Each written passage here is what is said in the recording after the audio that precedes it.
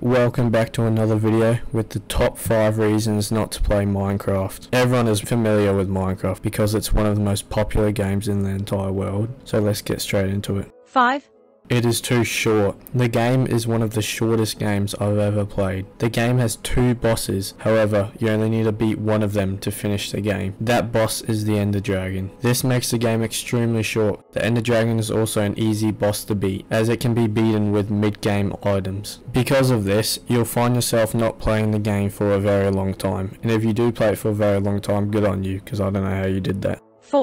4, There isn't much in the game. It's probably the slowest developing game I've ever seen in my whole life. Over the past 12 years of the game, the only new animals they've seemed to add are pandas, llamas, and goats, and some other stuff. But that's not much for 12 years worth of developing. 3, The game has goats. These goats aren't just any goats. These goats are out for blood. They want you dead. If you ever see one of these goats, do not go near them. They'll headbutt you off any cliff they can find and they will obliterate you. They ruin the game. 2, Pedos. Honorable mention.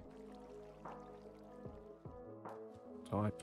No, but tell them you're already subscribed. slash TP at A. Yeah. Whoa, that's so crazy. At uh, A isn't even anything. What is at A? You mean at A?